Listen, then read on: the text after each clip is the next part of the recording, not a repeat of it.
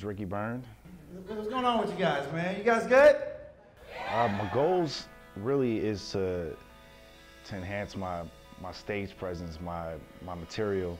Um, I don't want my comedy just to be um, finding that that next transition and going to movies because some people try to find a gateway into being that next star into into film. It's a step, but uh, my next like my goals. I want to go to New York. Um, I want to travel around the country, around the world, really, and and give my perspective on life and my comedy, my humor to everybody. So I really want to want to grow as a comic. I got robbed. I called these Metro Police. Then come out to eight hours later. They was like, ah, ah, ah.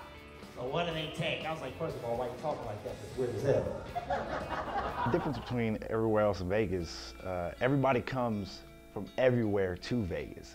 So it's uh, it's a good little melting pot with people. You kind of can see where your your jokes are going. If they live on a certain, they they could live in Mississippi, they could live in Texas, they could live in New York or um, Seattle, and you can see how your jokes work with those type of groups of people. Um, then if it does work, you could go to those cities and do what you need to do out there.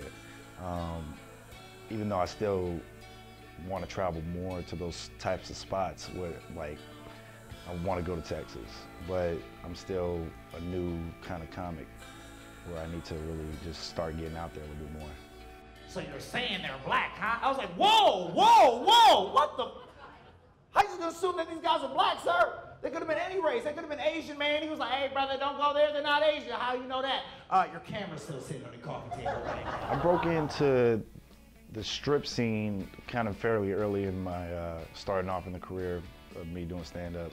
Uh, Matt Matt Chavez from uh, LA Comedy Club actually uh, gave me the opportunity to perform at his club and actually grow with the club to uh, not just do bar types of jokes because we as comics we, we get stuck in that oh uh, you know that that bar humor and a lot of the times that does not work on the on the strip or around the country or if you have to do corporate gigs.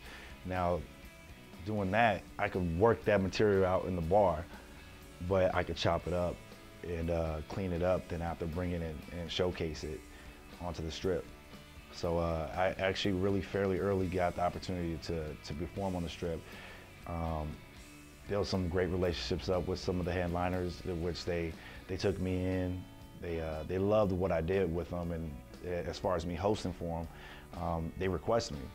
So, and I try to keep that same energy on the strip and off the strip um, and that same energy, you know, going out of going out of the state, you know, traveling, and try, try to bring that same me, you know, all the way around. I was like, there must be Latinos, man. He's hey, brother, not Latinos or Mexican. Was like, how you know that? Uh, they would have fixed your ceiling fan on the way in. Robbed you on the way out. I was like, oh, hell. The open mic scene, it's just, you know, you have a bunch of comics sitting in the back talking or, you know, conversing or whatnot, um, drinking and it's just like it is a community. It's uh, we're all hanging out, BSing around. But once you're in the club, it's like this is business. We have to we have to get down. Uh, there's no mess ups right here. You can't mess up. You can, but people are gonna remember that. Like you can mess up on an open mic scene and work that bit out and keep on working it out. You can mess up.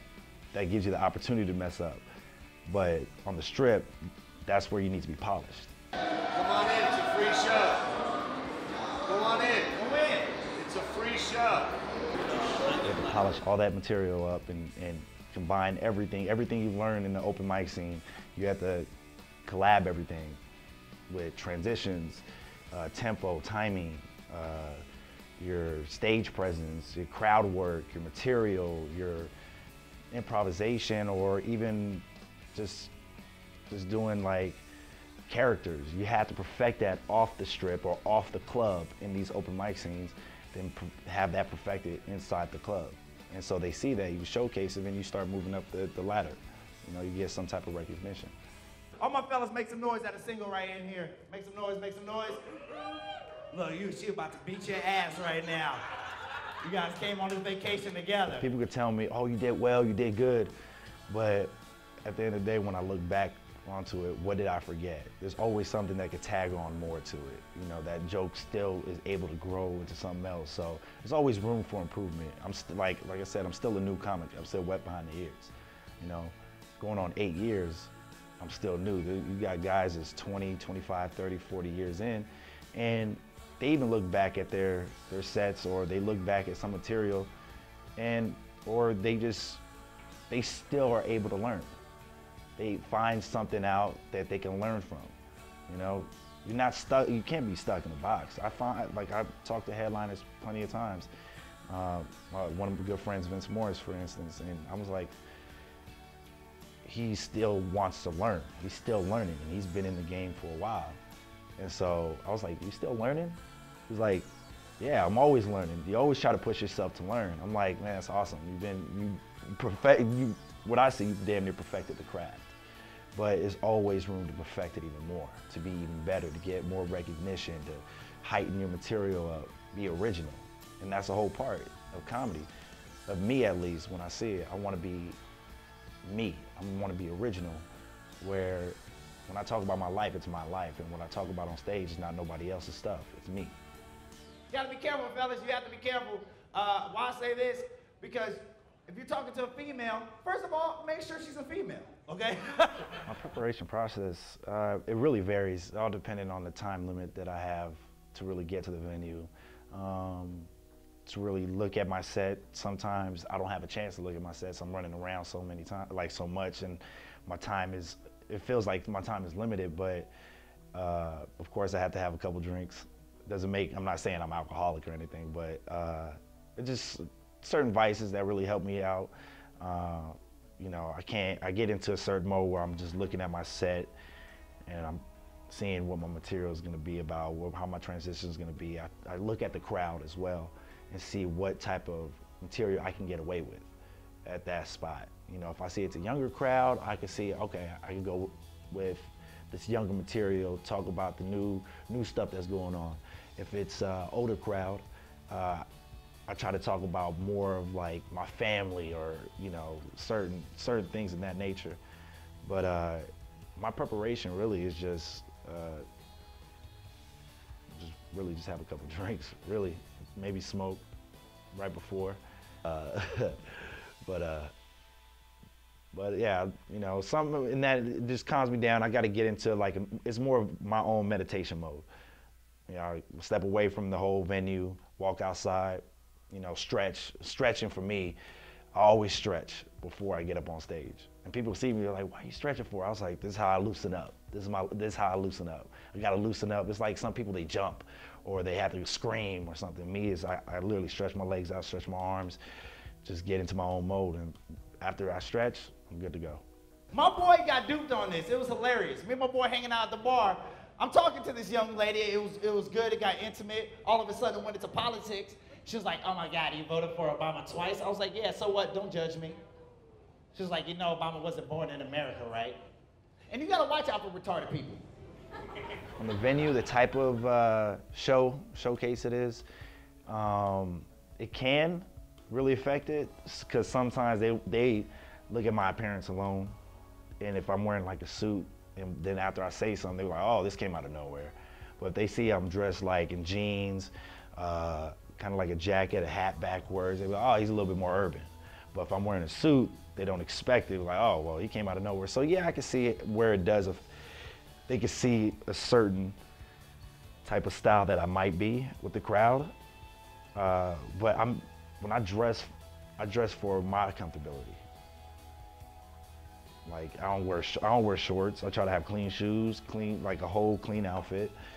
Um, no stains, of course, but uh, I, I, try to dress with the, the time now and what my comfortability is and how I grew up. So that's kind of what I'm bringing to it. It's like some people wear all black when they go up on stage. Then there's some people that wear all suits, you know, because it's professional. Um, if it's that type of event where I have to be more professional, yeah, for sure. I got suits. I can do the same thing, you know, but it's my own style. Same time my homeboy was talking to this one young lady, and the bartender comes up to me at this bar, was like, hey, I just want to let you know your boy is talking to a boy. worst show I ever had. Wow, I had a couple. I, I had some, and my worst show that I've ever had. Wow. Um. I don't know. That's that's that's another one with me getting to to fights with people. You know, if I had to fight somebody, that's probably my worst show. I've been DJ'd off stage before, so if I'm running the if I ran the light, but I was in at that time I was a new comic. I was still learning new steps, and now that you know going on eight, I'm I'm learning. I'm still learning. There's, you know, there's still room for improvement.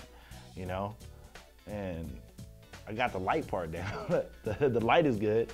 You know, I know how far I can offend somebody before it goes too far. You know, I learned how to deal with hecklers on just leaving them alone or just interacting interacting with them.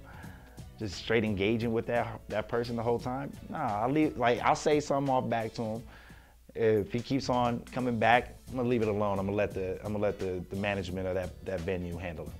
I'm not gonna if he doesn't get it, then he's gonna keep on going because he's drunk. And that's what the situations like that we have to deal with out here is uh, we have to deal with alcoholics. We have, not just alcoholics, we have to deal with drunk people on the strip that's drinking all the time, that's drinking, that was drinking the whole day, you know? So we have to deal with that and see how far we can go with that crowd. But I've had bad shows. I've had hecklers. I had got into arguments with people. One thing in Las Vegas, I love it. I love conventions out here. Have you guys ever been to a convention?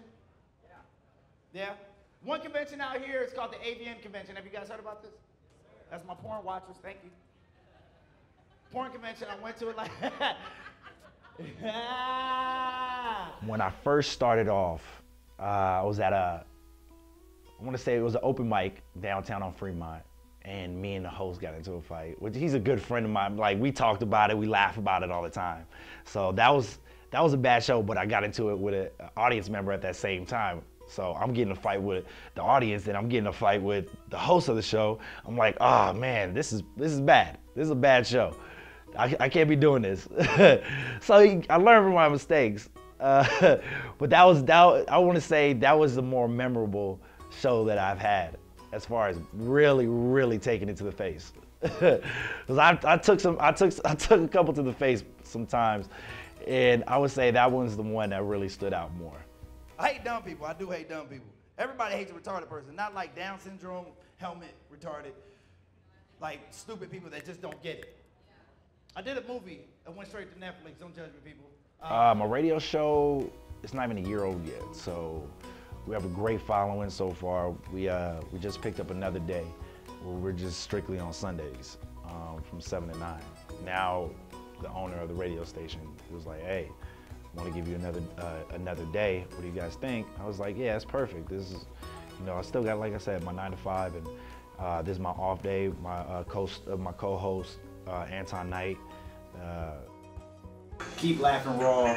Uh, tune in. Also call into that line 702-749-9874. talk with us. We got Scratch with K in the building, everybody. Yeah, Anton Knight, Ricky Burns. We out here. We do Wednesday afternoons from 12 to 2, and uh, we've been having that since October 11th was the first day that we started that radio station on WBKE. Scratch Scratch with a K is in the building, everybody.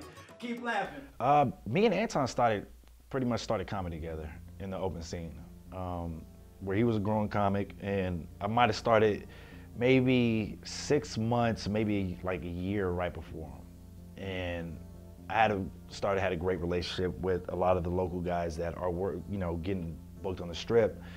Um, and Anton, he just skyrocketed. There's some transition where he had, he was like just that open, that new guy. Then his material just, he's a monster. And when I see his sets, I'm like, man, like Anton is, Anton's that guy that inspires me. He has a great fan base. He has great material, great transitions and uh, he's he's learning just like I am, and we learn from each other. We we help each other out with jokes, taglines, uh, and we you know he came to me with the the idea of the radio station, and I was like, yeah, I'm, let's do it, man. I'm down. Really, I'm down to do it. So we we started that, and but we've been close before. So we went on the road with each other. We went to California. We went to Arizona. Just You know, we traveled with each other as well as comics uh, before the whole radio station. So we were already friends and really good friends before. Did a movie with this man, uh, this man named Billy Zane. You guys familiar with Billy Zane? Yeah. As casting director, I was like, excuse me, sir, who's the main character in this movie? He was like, oh my God, you don't know who it is? I was like, no, who is it? He says, Billy Zane. I was like, who the hell is Billy Zane? He said, oh, Billy Zane. He played the villain in Titanic. I was like, okay, cool, because old time the villain was the iceberg, so what the hell is going on right now? You're, you're stupid. Thank God I have a, um, in the I'm in a great relationship right now, my girlfriend. Uh, she understands that I have to be out. I have to make some mingle and, and shake hands with everybody, build relationships up with, with bookers or uh, club owners and other comics as well. She understands that. You know, I was in a relationship before where that person didn't understand. And this is when I first started off. And she was like, oh, you're never gonna make it. You're not funny. My friends tell you you're not funny. I'm like, I know I'm not funny right now. You know, it's still, it's still starting off. It's still a transition, you know, but let me get to that. Grow with me here. This is what I love to do. Stop shooting my dreams down, you know? Oh, well, you need, it's not gonna pay your bills. Well, now it is. You know, now I'm starting to get, I'm getting paid for shows now. You know, I ran shows where I, I, I'm, I was paying people, you know, and yeah, it's, it's a juggle, but I think my job allows me, because I, I work a, a day job, I work during the day, and I can do my shows at night. And if I need to take some time off of work, I can go out of town if I need to. But it's just a, it's just a, I gotta juggle all that. Yeah, I have to make time for my relationship, take some days off, but if I can't take that, take that time off, she would, she understands. But yeah, it's a juggle, but until comedy for me is my full nine to, uh, like my full time nine to five, um, and I can quit that that job. Um, yeah, it's gonna be a juggle. They, you know, just like with people with kids, comics with kids. I don't have kids right now, but until that day comes, yeah, it's gonna be another thing to add on to juggling, you know. But until that time comes, who, who knows?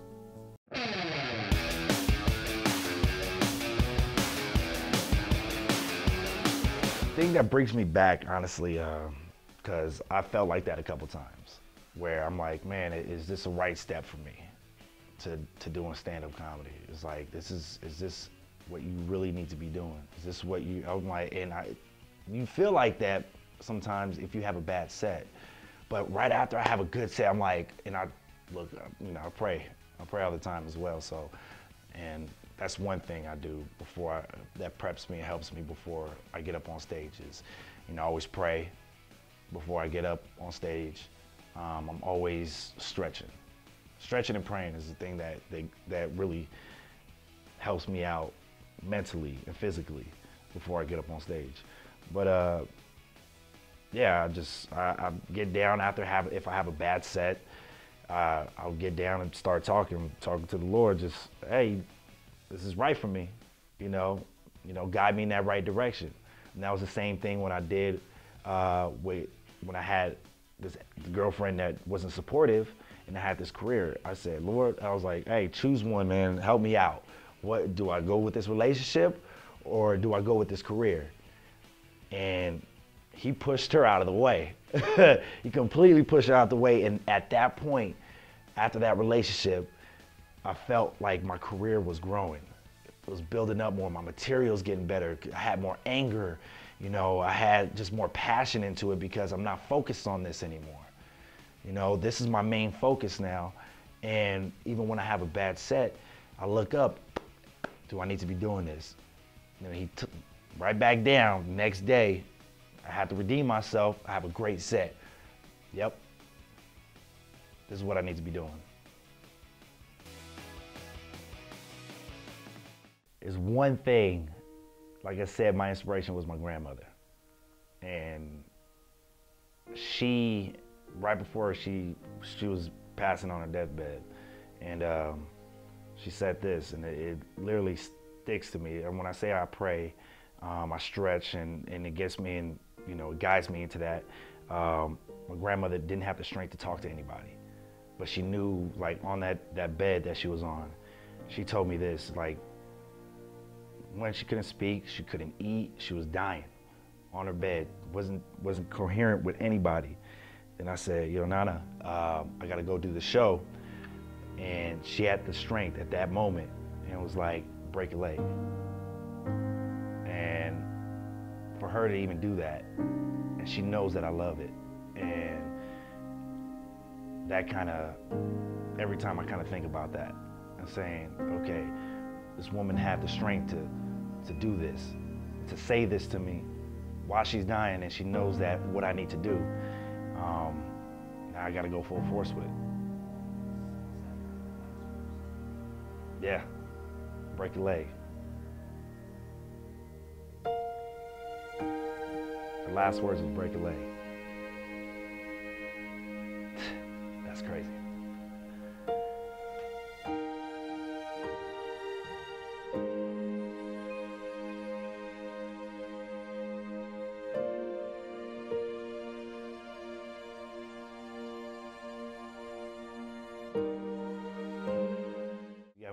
Tearing up right now. got me tearing up thinking about that. That's, I had to get that on there. I had to get that on.